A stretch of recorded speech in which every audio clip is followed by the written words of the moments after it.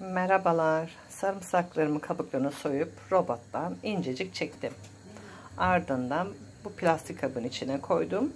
İncecik oldu bakın gördüğünüz gibi. Şimdi buzluğa atıp bu şekilde saklayacağım. Gerektiği kadar bıçağın ucuyla kesip kullanıp alacağım.